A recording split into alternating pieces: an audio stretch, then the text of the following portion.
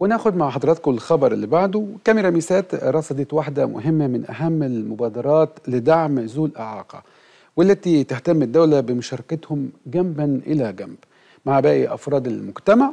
والمبادرة دي كانت في المركز الأولمبي في المعادي. دلوقتي هنطلع نشوف تقرير قعدته زميلتنا جيسي مدحت وبعد التقرير خليكم معانا.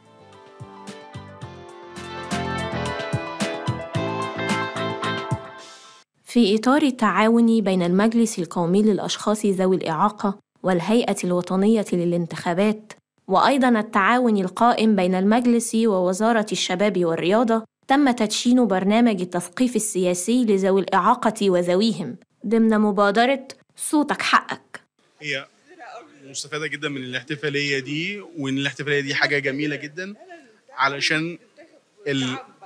لازم إحنا ندعم بلدنا عشان نشارك في الانتخابات الرئاسية لأن مصر هي أم الدنيا والحمد لله إن في مكتسبات لينا إحنا. إيه طبعا أنا بحس كل الناس وكل المواطنين إن هم ينزلوا في الانتخابات ويأيدوا إن شاء الله بإذن الله ما يريدون بس أنا من وجهة نظري الفترة القادمة آه، معالي وفخامة آه، رئيس عبد الفتاح السيسي هو الأصلح ليها لأنه صراحة أنا بتكلم عن ذوي الهمم آه، عمل معانا الصح وادانا كل حقوقنا في عصره.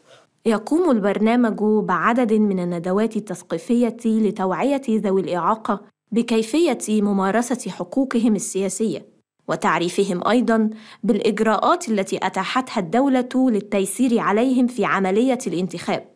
وذلك لحثهم على المشاركة الإيجابية في الانتخابات الرئاسية. بنبدأ نقول لهم إحنا من خلال المشاركة الإيجابية قد إيه إن إحنا بيبقى لينا مكتسبات. بمعنى إن أنا دايما أقول لهم إحنا لما شاركنا في الدستور كان لينا كان لينا في الدستور تسع مواد.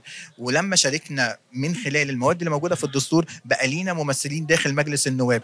المحاور كلها بت- بتمكن الشخص اللي عنده إعاقة من الوصول للجنة.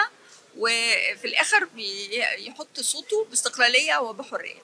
المحور الأول هو التوعية آه، هو عنده قانون 10 2018 بنعمل له توعية بيه وعنده قانون وعنده استراتيجية وطنية لحقوق الإنسان آه، في المحور الثالث للتمكين في المجتمع. والنهاردة بنتكلم عن التمكين السياسي. فإحنا بنعمل له تدريب وتوعية بهذا الحق.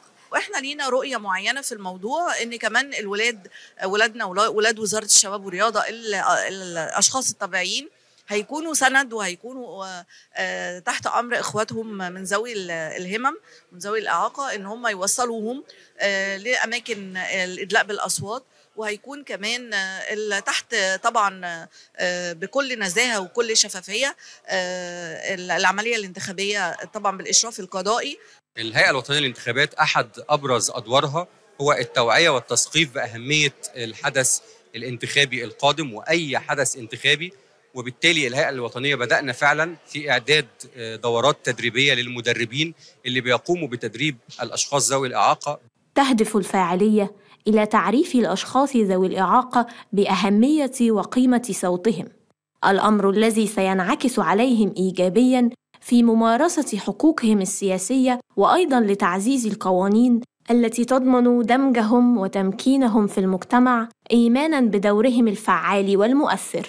قوانين جادة تضعها الدولة لدمج ذوي الإعاقة وكما قال الرئيس السيسي إن المجتمع القادر على تحقيق آماله هو المجتمع الذي يقدر قيمة ذوي الاحتياجات الخاصة باعتبارهم شريكا أساسيا في الوطن. من فعاليات تدشين البرنامج التثقيف السياسي لذوي الإعاقة وذويهم جسيم مدحت ميسات.